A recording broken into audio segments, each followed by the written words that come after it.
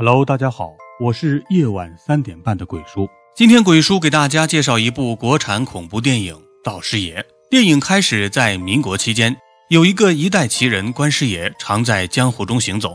这天，关师爷为了帮助吴府寻回小少爷的元神，关师爷特地找来了八字全阴的男主协助自己。在关师爷的一阵施法下，男主很快就进入了幻境，并在其中找到了被狐妖唱戏吸引的小少爷。就在这时，台上的狐妖突然冲着男主飞奔而来，吓得男主大叫连连，从幻境中清醒了过来。根据男主的描述，关师爷知道了事情的原委，当即利用纸鹤指路找到了狐妖。紧接着，关师爷就找回了小少爷的元神。没想到救回小少爷后，吴老爷被狐妖缠上了。关师爷又找上狐妖，这才得知事情的真相。原来，曾经吴老爷的一批货物被劫。为了找回货物，吴老爷便和狐妖做了交易，答应狐妖，只要他帮助寻回货物，他就将自己的儿子送给狐妖。没想到狐妖完成了答应的事情后，吴老爷翻脸不认人，不仅没兑现承诺，还在府中挂了法器，防止狐妖来寻。狐妖一气之下，这才得了小少爷的元神。这件事情虽然是吴老爷的不对，但毕竟孩子无辜，关师爷希望狐妖能够放过他们一家。就在这时，几个人出现，打伤了吴老爷。狐妖看到吴老爷受伤，便也不追究了。画面一转，一个猥琐的男人来到青楼，找了一位美娇娘。结果，男人掀开帷帐的时候，突然看到美娇娘露出了一张恐怖异常的脸，男人当场就被吓晕了过去。第二天白天，大街小巷就流传了青楼闹鬼的传说。关师爷听闻了这件事，再加上看到青楼上方有一朵黑烟迟迟不肯散去。于是，关师爷来到了青楼当中，并且见到了昨天被吓得昏迷不醒的男人。随后，关师爷找到了美娇娘，弄清了事情的原委。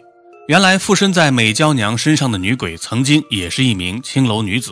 后来，她与一个男人相爱，不料这个负心汉抛弃了她，迟迟等不来的女鬼最后自杀了。但是，因为她心中怀有怨恨，所以女鬼死后就附身在了美娇娘的身上，发誓要杀死那些猥琐的男人。为了让女鬼不再害人，关师爷答应帮助女鬼找到负心汉。随后，关师爷找到了负心汉的弟弟，没想到弟弟称哥哥已经失踪很久了。无奈，关师爷拿出了负心汉的一支笔，一番做法后，又拿出纸鹤引导自己找到了一座府邸。然而，开门后，关师爷却发现这里的人根本不是负心汉。当天晚上，负心汉就托梦给关师爷，原来当年他打算给女鬼赎身。不料半路上遭遇了劫匪，自己的钱财全部被劫走不说，自己还被这些人杀死，正在实施下方，导致这么多年来负心汉一直无法离开这里。得知了这一切经过后，关师爷告诉了女鬼，而女鬼在得知负心汉并没有负自己后，也放下了心中的执念，消散了。这天，关师爷在外面再次碰到了因为卖棺材而发家致富的男主。说来也奇怪，前两年城中干旱。结果突然下了几天的雨，没想到这场雨带来了瘟疫，因此男主靠着卖棺材赚了不少钱。只是最近男主也遇到不少奇怪的事。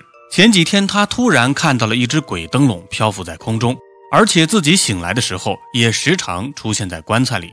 听闻了男主的事情，关师爷凭着两人的交情，决定去帮助男主。于是，在来到男主家的当天晚上，关师爷就做了法。随后，他就看到熟睡的男主走到了院子里。并且还漂浮在空中。关师爷再一看，原来是一只成精的黄鼠狼。第二天，关师爷将事情告诉了男主，男主这才想起来，一段时间前自己的一只鸡被黄鼠狼偷吃，生气的男主因此将黄鼠狼打成了重伤。黄鼠狼最为记仇，看来是那只黄鼠狼来找男主报仇了。好在现在关师爷在，在关师爷的调解下，黄鼠狼和男主达成共识，在每年的三月三、九月九。给黄鼠狼准备好吃的，相对的，黄鼠狼也不再找男主的麻烦。最终，在两个人的调解下，这件事情也就这样过去了。而关师爷则继续闯荡江湖，行侠仗义。好了，电影到这里也就结束了。